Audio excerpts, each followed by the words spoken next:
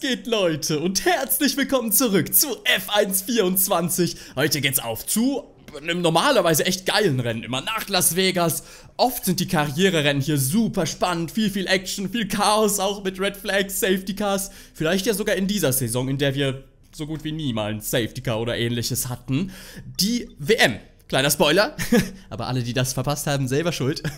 die ist seit dem letzten Mal entschieden, die Fahrer-WM. Dort konnten wir uns den wichtigsten Pokal von allen sichern, sind Fahrer-Weltmeister. Somit geht's aus einer egoistischen Sicht natürlich um nichts mehr in den letzten beiden Rennen. Aber die Konstrukteurs-WM, die ist noch alles andere als entschieden. 54 Punkte trennen Red Bull und uns da. Das klingt nach viel, aber man kann als Team maximal 44 holen an einem Wochenende mit Doppelsieg plus schnellster Rennrunde.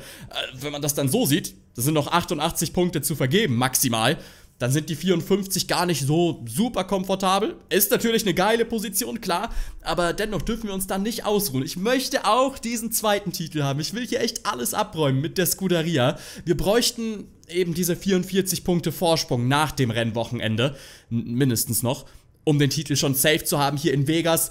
Keine Ahnung, ob das gelingen wird. Also da alle Szenarien durchzuspielen ist auch unmöglich, weil das ja nicht nur von uns abhängt, sondern auch von den drei anderen Fahrern bei den äh, beiden jeweiligen Teams.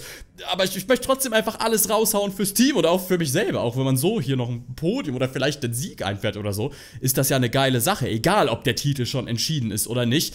Und falls das hier nichts werden sollte äh, mit, mit der Konstrukteurs-WM, ist es natürlich entscheidend, uns eine gute Ausgangssituation zu verschaffen für Abu Dhabi. Ne? Also es wäre ganz schlecht, wenn wir hier beide DNFen und Red Bull holt einen Doppelsieg oder so. Dann geht es beim nächsten Mal richtig ab. Wäre für die Spannung super.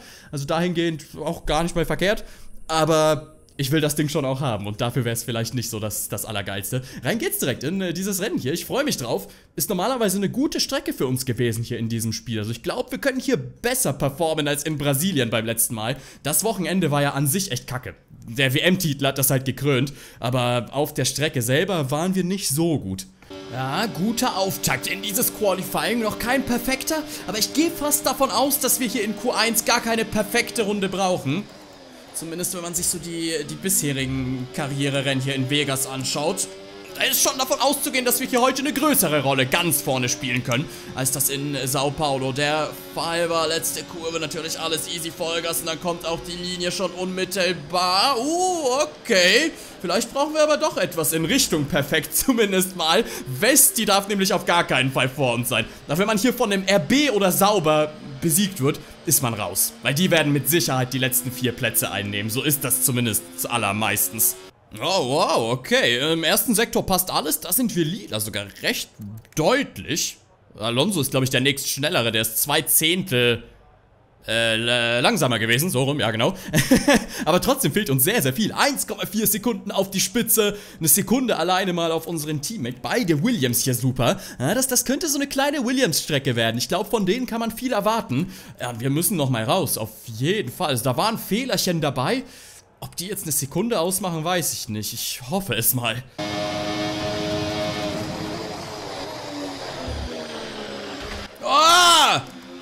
riesen Untersteuern da oder was einfach zu spät gebremst, keine Ahnung. Nennt's wie ihr es wollt. Auf jeden Fall war es nicht optimal und das hier ist auch nicht optimal, weil die Kurve scheiße ist. Man kommt da rum, man sieht nicht, wo man bremsen muss, man sieht die Kurve nicht. Ich hasse die schon immer. Oh Mann, jetzt haben wir Druck. Jetzt geht's gleich im letzten Run darum, hier aus Q1 rauszukommen. Also sowas habe ich hier bei weitem nicht erwartet. Ich, ich dachte wirklich, das wird ein easy Top 5 Qualifying oder so. Ehrlich gesagt. Aber davon ist das gerade meilenweit weg. Weil es jetzt auch natürlich nicht gut gefahren war, das ist klar. Aber auch wenn, haben wir, glaube ich, trotzdem Probleme. Die Pace ist nicht so da.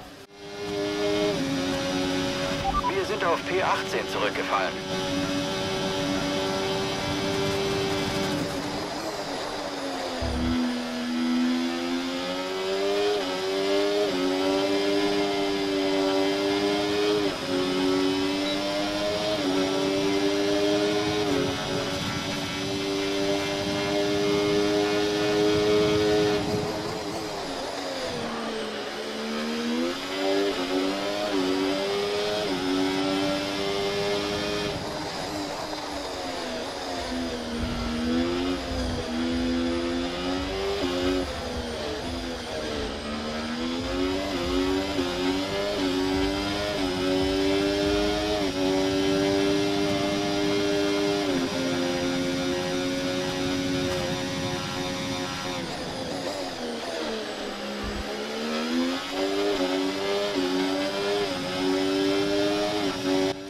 Geiler Windschatten noch hier auf der langen Gerade. Ich glaube, wir könnten es gerettet haben, vorausgesetzt es gelingt, das über die Linie zu bringen. Alex, du machst aber bitte Platz vor der Kurve, ja? Der fährt da so schön neben der Ideallinie, aber wirklich langsam wird er nicht. Ja, jetzt so ein bisschen. Schöner Windschatten da auf unseren Ex-Teammate natürlich. Der Kollege macht auch sehr, sehr gut Platz. Ja, nicht hier noch irgendwie wegdrehen. Es war immer noch ganz weit weg von einer wirklich guten Runde, mit der ich sehr zufrieden bin. Aber ich hoffe mal, diese etwas weniger als drei Zehntel reichen, um gerade so den Kopf aus der Schlinge zu ziehen. Nein, tun sie nicht. Platz 17. Okay, wir sind raus in Q1.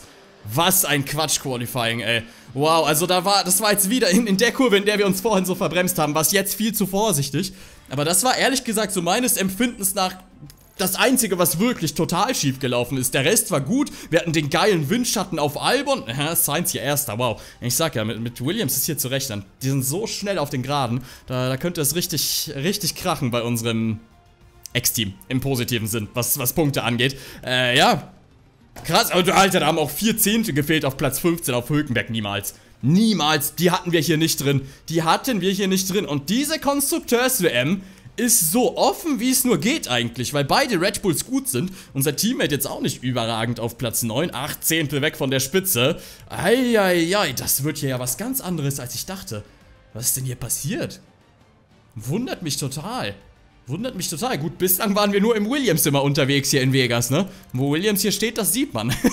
also vielleicht sind wir hier nicht gut, sondern ist der Williams hier so, so mega gewesen. Ich weiß es nicht. Dieser beste Motor damals, das hätte eine, schon eine Rolle gespielt haben können. Ja, krass. Riesen, riesen Überraschung. Aber ja, kann man nichts machen. Müssen wir, müssen wir einfach das Beste draus machen im Rennen gleich. Das ist auf jeden Fall unsere erste Handlung als Weltmeister. Ein Q1 aus. Sehr, sehr gut. Das ist die Einführungsrunde und die Stimmung steigt, während der Start des Rennens immer näher rückt. Welches Team wird sich durchsetzen? Wer hat heute die richtige Strategie? Gleich werden wir es wissen. Ja, also ich glaube, jetzt steht fest, dass, dass unsere Stärke auf dieser Strecke eher am Williams lag. Erste Startreihe für unser altes Team. Ey, Props, Applaus, waren richtig, richtig gut. Ich hoffe, die machen das da vorne. Wäre natürlich auch nicht schlecht, würde Red Bull Punkte wegnehmen.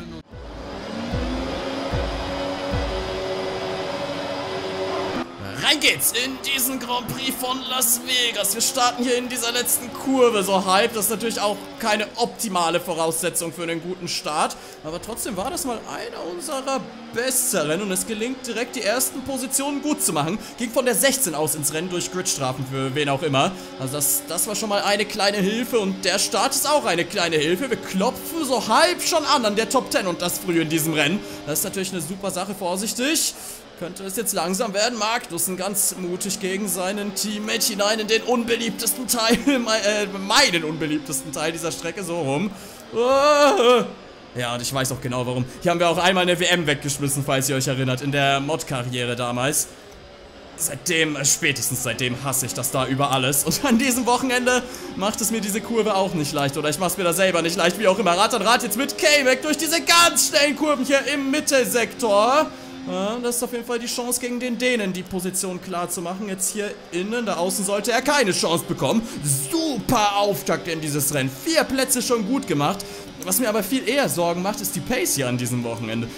Ich fürchte fast, dass dieses schlechte Qualifying kein Zufall war, sondern dass das einfach ungefähr die Position war, auf die wir gehören heute. Wenn man auf die Karte blickt, der zweite rote Punkt, Leclerc, der ist jetzt auch nicht gerade in luftigen Höhen hier unterwegs. Also dieser Ferrari, der struggelt hier auf dieser Strecke. Und allgemein zuletzt, also wenn man, weiß ich, wenn wir nicht in der ersten Hälfte der Saison oder wann, wann war das? Am Anfang der Saison, zur Mitte der Saison rum, so viele Punkte geholt hätten, dann wäre das hier wohl nichts geworden mit dem WM-Titel, weil die letzten Rennen echt allesamt nicht so nicht so weltmeisterlich waren oder zumindest einige davon. Brasilien war nicht so ein geiles Wochenende. An Baku erinnere ich mich immer noch, da war es auch ganz schwierig. Das hier scheint auch tricky zu werden. Also, ja. Gut, dass es davor so stark lief und dass da das Auto auch noch besser war. Ich meine, das, das lässt sich ja alles erklären durch die Performance, die einfach schlechter geworden ist. Oh, Charles ist Neunter, den sieht man da vorne. Der hat gerade zwei mickrige Punkte inne. Puh, also ich sehe hier heute keine Konstrukteurs-WMs-Entscheidung leider. Da müssen wir echt Schadensbegrenzung betreiben, um es in Abu Dhabi so leicht wie möglich zu haben. Ich bin auch echt sehr, sehr dankbar, dass Williams hier so stark ist gerade. Ja, echt keinerlei Pace. Ich habe versucht, alles an ERS wegzuballern, um da vorne dran zu bleiben. Aber jetzt werden wir hier völlig aufgefressen von äh, Magnussen. Es ist nicht gelungen, mit Hülkenberg mitzuhalten. Es ist nicht gelungen, an einem Haas dran zu bleiben. In der zweiten Runde eines Rennens. Wir sind hier im Haas-Alpin-Sandwich. Da willst du nicht sein. Oh, und der Topspeed ist unterirdisch. Sobald wir das ERS ausmachen, Hilfe. Hilfe, kommt der Gasly da hinten angeschossen. Magnus, schnellste Rennrunde. Na, super. Oh, das wird eine harte Nummer. Das wird eine ganz harte Nummer. Also wenn wir hier irgendwie einen Punkt zumindest mitnehmen, dann wäre das schon echt nicht so verkehrt. Wir müssen uns hier auf, auf die Williams verlassen, auf Leclerc verlassen und einfach hoffen, dass Red Bull auch nicht so optimal abliefert. Ich meine, da vorne sind auch noch andere. Da sind die Astons, die Mercedes. Die können die Red Bulls schon auch mal ärgern. Boah, also wir sind ja nicht nur langsam, wir sind echt scheiße. Für einen Weltmeister. Wir gurken hier auf Platz 13 rum und das völlig verdient. Und ich habe auch eher das Gefühl, dass es gleich noch weiter nach hinten geht, als, als irgendwie nach vorne. Immerhin werden wir jetzt mal das DRS auf K-Mac mitnehmen, oder? Ja, wohl muss auch nicht mal sein, der Messpunkt ist hier erst auf der Gerade. Äh, doch, das wird wohl reichen, aber trotzdem. Nur gerade so, obwohl der uns in der letzten Runde erst überholt hat. Oscar jetzt direkt dran. Ich glaube, das war wohl derjenige, von dessen Gridstrafen wir profitiert haben. Ich kann ums Verrecken diesen Bremspunkt da nicht, äh, nicht richtig treffen. Ja, gegen den werden wir aber eh schlechte Karten haben. Der sollte hier hinten ja gar nicht sein. Aber das ist einfach wirklich langsam. Es ist schockierend langsam, was wir hier abliefern. Das erinnert mich so ein bisschen an eins dieser guten alten Desasterrennen aus der ersten Saison. Kennt ihr die noch? Als ich auch öfters mal einfach gerage-quittet habe, weil das so unerträglich war, weil wir nur hinterher gefahren sind. Ganz so extrem ist es hier natürlich noch nicht und ich glaube, das wird es auch nicht werden. Aber schön ist trotzdem anders. Wir haben auch keinerlei Chance, irgendwie mal zu kontern, wenn wir überholt werden oder so. Das ist einfach nur eine Frage der Zeit, bis derjenige dann aus dem DRS raus wird. Da sind wir mal dran an Oscar. Da würde hier jetzt natürlich keinen Sinn machen zu überholen, aber das ist zumindest mal etwas. Vielleicht können wir mit dem ja so ein wenig mitziehen. Aber ehrlich gesagt bezweifle ich das. Ich meine, wir konnten nicht mit Magnussen mithalten. Aber der scheint auch schnell zu sein, ne? Mit der Fastest Lap. Das ist schon erstaunlich. Ja gut, jetzt muss ich einfach mal runterkommen, die Situation akzeptieren. Das ist halt hier so. Wir werden hier heute strugglen wichtig, das Beste draus zu machen. Ganz, ganz wichtig sogar. Immerhin sind alle sehr nah beieinander. Fast das komplette Feld, bis auf kleinere Lücken, ist ein riesen DRS-Train. Also das ist eine super Sache. Selbst die Führenden sind zeitlich noch gar nicht so weit weg von uns, dafür, dass wir 14. sind. Oh, Alter! Gasly da hinten, was? Wir haben auch DRS auf Oscar. What the fuck? Was war das denn? Raketen-Topspeed von dem Alpine. Dass ich das noch erleben darf. Wahnsinn. Ey, da machst du nix. Wir müssen hier, ich weiß, weil jetzt wieder alle schreiben ERS-Management, ERS-Management. Ja, wenn wir kein ERS benutzen, dann werden wir aufgefressen. Komplett. Das ist so hoffnungslos scheiße. Das gibt's gar nicht. Das tut echt weh. Also man legt sich natürlich immer vor so einer Folge oder vor einem Rennen irgendwie ein Szenario im Kopf zurecht, was man so erwartet. Ich meine, wir spielen hier nicht zum ersten Mal. Ich, ich habe natürlich die letzten Rennen hier so im Kopf. Und das ist wirklich meilenweit weg von dem, was ich erwartet habe. Ganz, ganz meilenweit. Aber es gibt auch positive Nachrichten. Zumindest mit Oscar halten wir jetzt mal mit. Also das ist wenigstens etwas. Habe ich so jetzt nicht unbedingt kommen sehen. Und dadurch gelingt es jetzt auch von Gasly wieder wegzuziehen. Der Franzose erstmal raus aus dem DRS. Also es bleibt zu hoffen, dass wir vielleicht das Schlimmste überstanden haben. Das hier ist nämlich jetzt echt akzeptabel. Solange ich nicht das Gefühl habe, dass wir nur durchgereicht werden, ist ja alles okay zumindest. Ja, ich bilde mir sogar ein, dass wir ein bisschen aufschließen auf dieses riesen Grüppchen da vorne. Das ist natürlich auch nicht so verkehrt. Come on, vielleicht geht hier doch noch was.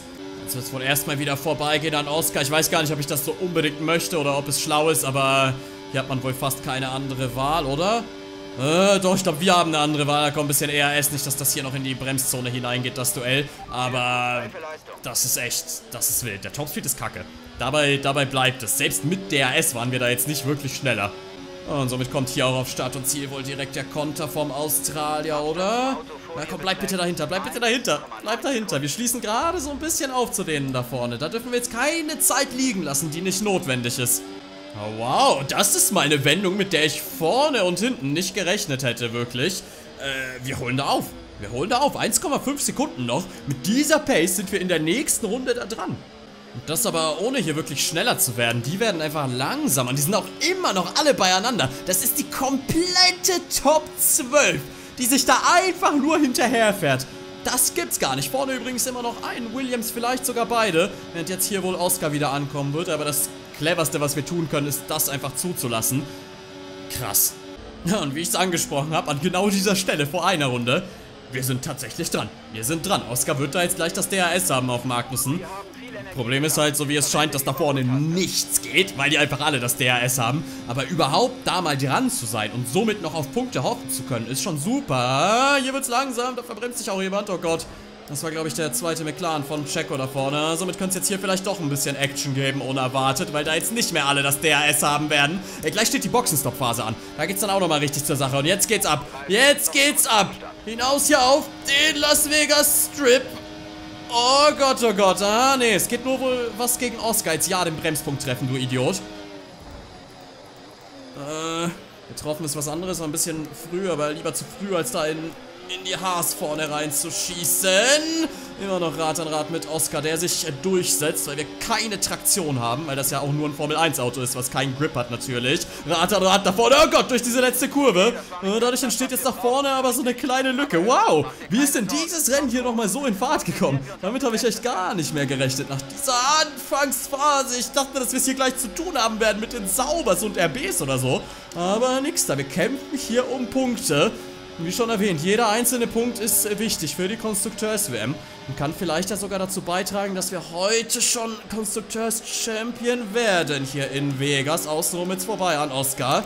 Den hätte ich endlich mal gerne, ja, den haben wir, aber an dieser Stelle muss das nicht viel heißen. Hey, aber ich krieg einmal diese Kurve hier an diesem Wochenende okay hin. Das ist doch mal was, was ganz Feines. Seltener Anblick. Die Haas, oh Gott, oh Gott, ist das langsam. Wow, sehr, sehr langsam. Oh, und es geht ja auch immer noch weiter, oder? Ja, äh, keine Überholstelle hier, aber ich weiß nicht, ich will es jetzt irgendwie wissen. Und ich meine, was heißt keine Überholstelle? Überholen kann man hier schon, aber ist jetzt nicht so das Typische, was man machen sollte irgendwie. Vor allem, weil hier direkt die lange Gerade kommt, auf der es viel leichter ist. aber wir haben uns durchgesetzt. Oh, oh, ja, aber das war nicht so clever. Und auch hier jetzt mit 0% ERS zu sein, ist überhaupt nicht clever. Alles klar. Alles klar. Gott sei Dank noch das DRS auf die Haas mitgenommen. Aber wir werden hier völlig aufgefressen. Oh Gott. Zu fünf nebeneinander oder so. Äh. Äh. Äh. Was habe ich getan mit diesem ERS? Oh Gott, wir bleiben vorne. Alter, was war das denn? Das war vielleicht eine der krassesten Szenen überhaupt. Obwohl, ne, aus der Perspektive sieht es gar nicht so dramatisch aus. Das waren nur die McLarens und alle anderen halt aber nah dahinter. Das sah aus der Onboard-Perspektive sogar noch schlimmer aus. Puh, das war eine Szene völlig unnötig. Nur weil ich den da überhole vor der Gerade. Ich Vollidiot, wirklich. Ah, shit, Boxenstopp-Fenster jetzt geöffnet, somit vielleicht eine Undercut-Chance verpennt. Oh, fast das Auto in die Wand gehauen, ey, dass solche Sachen immer wieder passieren. Was ist das denn, Mann? Wir sind im fünften Gang, du Arschloch! Da ist auch Gasly vorbei, ja, 50 Positionen verloren, Schaden. Verbremst jetzt auch noch, weil ich mich aufreg ohne Ende. Obwohl, ne, das war eigentlich ganz gut. Können wir uns jetzt vielleicht Gasly schnappen an dieser Stelle. Ey, so ein Müll. So ein bodenloser Müll. Oh, rate, rate meine Lieblingskurve. Okay, jetzt ganz schnell wieder runterkommen. Alter, das ist nie gut, so abgefuckt zu fahren. Okay, irgendwie alles nochmal halbwegs okay gelöst, aber ja. Den Flügel werden wir wahrscheinlich wechseln müssen jetzt, also das ist für den Arsch. Ich meine, die Reifen sind jetzt auch noch nicht so schlimm, ne? Also darauf kannst du den Dreher auch nicht schieben. Das, die sind nicht mal bei 30%, das sind Mediums. Das, das muss gehen im fünften Gang, Mann. Mein Gott. Das muss doch einfach gehen. Wer macht dieses Handling? Wundervoll, wundervoll. Ab geht's an die äh, Box. Schön, dass das Rennen sich so positiv entwickelt hat in dieser letzten Runde. Das sieht man doch immer gerne. Oh, die wechseln den Flügel nicht. Die wechseln den Flügel nicht. Natürlich wechseln die den nicht. Ja, ist ja nur äh, ein halber Flügel gefühlt. Ja, und ein schlechter Stop auch noch, Mann! Na klar! War ja nur auf Auto mit einem äh, halben Flügel, der fast fehlt, ne? Ist ja klar, dass man den dann nicht wechselt. Natürlich nicht. Wofür gibt es diese Auto-Einstellung eigentlich? Wofür gibt es die? Ich weiß es nicht. Ja, Pit-Limiter muss man nicht deaktivieren, klar.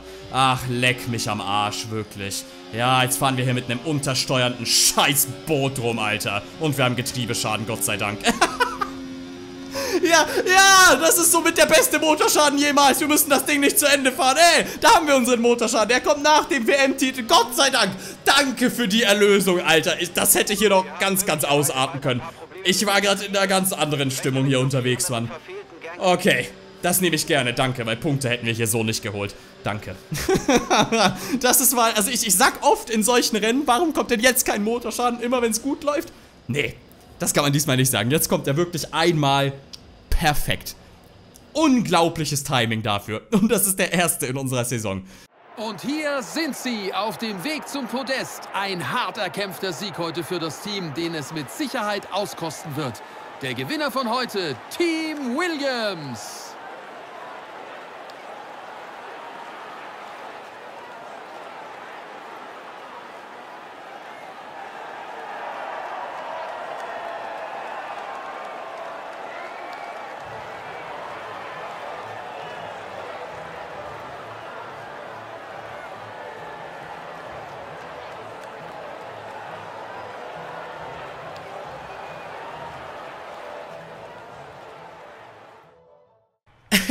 Tatsächlich ein Williams-Doppelsieg. Unser altes Team bringt dieses überragende Qualifying äh, über die Linie, holt sich auch die maximale Punktzahl. Hier kein Red Bull auf dem Podium, aber die 22 äh, Punkte zu den 6 von uns reichen, um den Konstrukteurstitelkampf nach Abu Dhabi zu verlegen. Ja gut, äh, wir haben da heute jetzt auch nicht viel zu beigetragen. Aber also ehrlich gesagt, auch wenn das alles clean gewesen wäre am Ende und wenn wir nicht ausgeschieden wären, ob das hier heute Punkte geworden wären, keine Ahnung. Hätte sein können, dass wir vielleicht da irgendwo so, so eine Alonso-Hamilton-Position eingenommen hätten. Aber das hätten auch gut und gerne mit einem cleanen Rennen heute keine werden können, weil die Pace einfach für den Arsch war. Und somit, ja, dankbarer, dankbarer Moment für einen Motorschaden. Ähm, ja, Alter, was für ein Rennen, Mann. Was für ein Rennen. Zeig mal her, was bedeutet das jetzt in der Fahrerwärme? Gut, die ist egal, ne? Von mir aus sind es da auch am Ende, was, vier Punkte oder was es noch sein können. An der Spitze, nee, nicht mal. Äh, also wir werden so oder so einen guten Puffer haben, aber das ist auch nicht wichtig. 38 sind es hier, ja. Also da braucht schon ein Drama in Abu Dhabi und eine richtig gute Leistung von Red Bull. Aber dennoch, äh, also dafür, dass wir so souverän eigentlich Weltmeister geworden sind, so früh vor dem Ende, ist es schon krass, dass das hier noch so knapp ist, ne? Die Konstrukteurswärme ist knapper als die Fahrerwärme an der Spitze. Sehr wild. Sehr, sehr wild. Williams übrigens hat jetzt 82 Punkte. Und davon kamen gerade 43 aus einem Rennen. Das ist unfassbar. Und die sind auch in der Performance jetzt nicht auf wundersame Weise irgendwie vorgekommen. Ja, doch, die haben sich jetzt so ein bisschen angeschlossen an diese Top-Teams. Ne? Also, das war jetzt keine Weltwunderleistung hier, wenn man das so sieht. Aber trotzdem erwartet man das von einem Williams nicht, dass die einen Doppelsieg holen. Aus dem gar nichts. Aber es freut mich so sehr für unser altes Team. Das ist echt, echt cool. Wenn wir das Ding schon nicht, nicht gewonnen haben hier, dann, dann soll es denen sehr, sehr gegönnt sein. Irgendwie einen minimalen kleinen Anteil haben wir daran ja vielleicht auch durch unsere Zeit beim Team, keine Ahnung. Äh, ja, das war's ganz enttäuschendes Rennen, ganz, auch frustrierend ohne Ende. Beim nächsten Mal geht es dann zum Finale nach Abu Dhabi und da geht es leider noch um was für uns. Ich wäre da sehr gerne einfach so hingegangen nach dem Motto, Hauptsache nochmal cooles Rennen haben, aber nein. Wir kämpfen dort noch um einen WM-Titel, den wir hoffentlich auch klar machen können, ne? Den wir hoffentlich klar machen können. Natürlich sieht es gut aus, aber wenn ich das hier gerade sehe und allgemein so die letzten Rennen, äh, bin ich auch nicht so zuversichtlich, dass das in Abu Dhabi super gut wird. Also typischerweise ist, ja, da waren jetzt zweimal Sechster im Williams. Okay, aber, hm? Also so ein schlechtes Rennen in Abu Dhabi sehe ich schon. Ist, ist vorstellbar, finde ich. Da, also es kann natürlich auch gut laufen, klar. Aber muss es auf keinen Fall. Das ist nicht so eine Strecke, die ich sehe und mir denke, ah ja, easy Podium. Auf gar keinen Fall. Ich glaube, so eine Strecke gibt es gerade gar nicht mit unserer Performance. Äh, ja. Wahnsinn. Wahnsinn, das war's. Vielen Dank fürs Zuschauen. Lasst gerne einen Daumen hoch da, wenn es euch gefallen hat. Dann sehen wir uns beim nächsten Mal, beim Finale dieser Saison. Hoffentlich etwas äh, positiver als hier. Das war nämlich echt nix. Bis zum nächsten Mal.